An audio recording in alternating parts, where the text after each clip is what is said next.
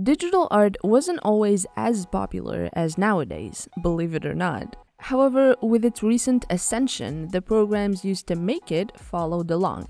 A noticeable software among many is most definitely CSP, or Clip Studio Paint, and today we'll take a look at 12 facts that surround it. Continue, let me tell you about Skillshare, which is a platform that has hundreds of classes about animation, drawing, illustration, and several other creative fields. We've got you guys this course from the Skillshare website about Clip Studio Paint, which will guide you through the software. It's an introductory course that is designed for absolute beginners, and it is taught by Asia Noble, who will show you the basics about Clip Studio Paint. The course covers topics such as the interface basics, how to use the tools and layers, and more. The Skillshare platform offers a wide variety of additional related courses, and the first 1,000 people to click the link in the description will receive a free month of premium membership. Alright, now back to the video. Let's start with a little background check with fact number one. CSP was released in 2001 on both Mac OS and Windows under the name of Comic Studio in Japan and advertised as Manga Studio in the Western market. The earliest versions were designed to support black and white art exclusively, since it's the typical Japanese manga format. But since then, the software kept undergoing many upgrades, such as the introduction of full colors in the fourth version, and the change of the name to the one that we know it for today. Speaking of upgrades, let's check this one with the second fact. If you've tried your hand at drawing before, and no matter what kind of artwork you chose to make, you probably thought of finding a reference and then proceeded to spend hours spiraling down the internet looking for it. At some point, 3D models became a solution for referencing, but were hard to access. You see, you need a different software, one that can handle 3D models. This is why the CSP 3D Objects option is probably one of the most revolutionary. It comes integrated within the software without any additional cost. It's easy to access and even easier to use. There's even a continuously updated library of preset poses, backgrounds, and all kinds of shapes and objects. Anatomy and perspective were never made this easy to try out. And this leads us to the third fact. The 3D models we just mentioned can all be downloaded from the CSP Asset Store. That's the name of the space dedicated to all kinds of digital tools made either by the CSP developers themselves or artists' contributions. Brushes, image materials, gradient set, frame templates, and 3D characters. It has it all to make your digital art journey worthwhile. Once you acquire the CSP license, you can create an account with your email to navigate CSP assets and look for different kinds of material. Some of it is paid, of course, but most of it is free, and the online library keeps expanding. The fourth fact may be a little early on a facts list, but here we go.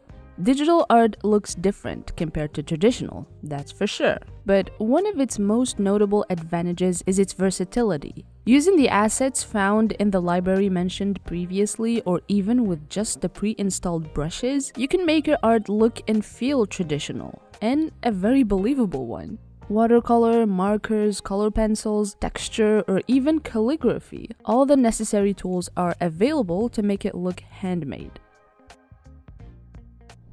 Moving on to the fifth fact. And this one should definitely be kept hidden from the digital art haters an automatic coloring feature.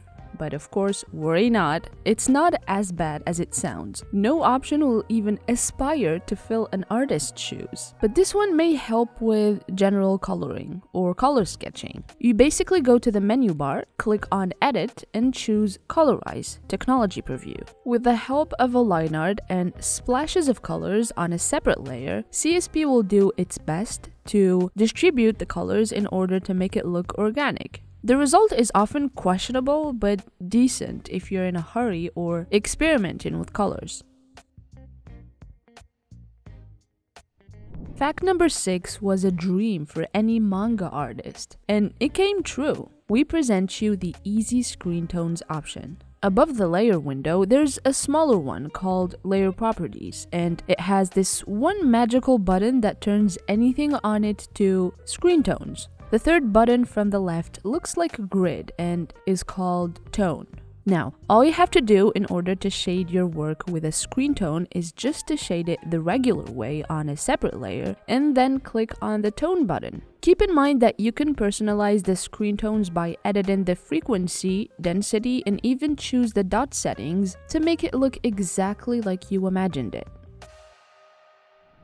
Fact number 7 might be as lucky in information as in its number. Why, you may ask? Because perspective, duh. You may finally be able to tame your nightmare with these perspective rulers. Whether you're planning on making 1 point, 2 points, or 3 points perspective drawing, CSP has a ruler for each one of them. You can choose your horizontal line, adjust your points, and follow the automatically generated grids to know exactly where to put what. Even the 3D object gets their own perspective rulers and grids in order to always keep you oriented. How cool is that? We're getting specific with this eighth fact. What are you making? An illustration, a comic, a webtoon, or maybe a fanzine? Whatever it is, CSP allows you to choose from six pre-configured options on the new work window, then personalize them as you wish. You do this by simply clicking on the new icon, using the Ctrl N shortcut, or go into the menu bar, selecting File, then New. The list of options on the new window varies from one project to another, so take your time to explore them. Fact number 9 is another controversial one, and it's about backgrounds. CSP basically converts any 3D background you may have selected from CSP assets, its material, or even a real photo into lines and screen tones, or just lines, thus generating line-arted backgrounds within a minute. It works especially well with 3D objects, and you can do it in just a few clicks. Select the 3D background or photo layer, right-click and choose Convert to Lines and Tone. A small window will appear, allowing you to adjust the lines and tones to wish. Remember to click on Preview though to see the changes unfold before approving them, and you're welcome. DIY much?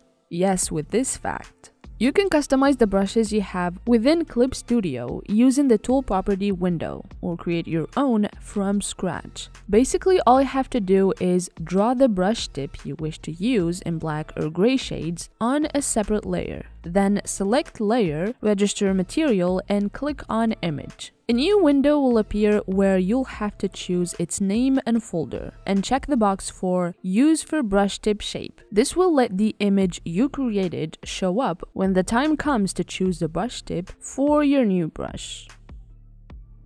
When it comes to manga and comics, it's hard to do better than this 11th fact. Framing templates, sound effects, speech bubbles, grass brushes, speed lines, cross hatching, etc. It's all laid out there for us to just draw the story. CSP has probably the most impressive collection of everything needed to make the most complete manga or comic. It's all free and customizable, shades of gray or colors. CSP gives us no space for excuses, and all of this is to get things done.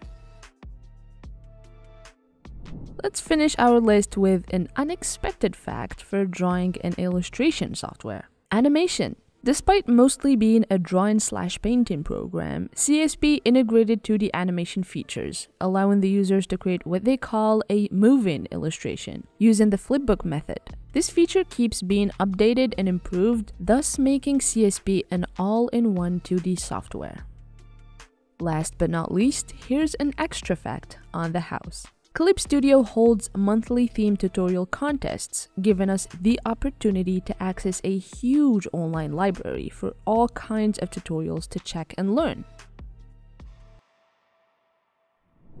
Let us know in the comment which fact you liked the most and which one you didn't know about. If you enjoyed this video, don't forget to like, subscribe, and click on the bell to get notifications on our latest content. That being said, thank you for watching as always, and see you next time.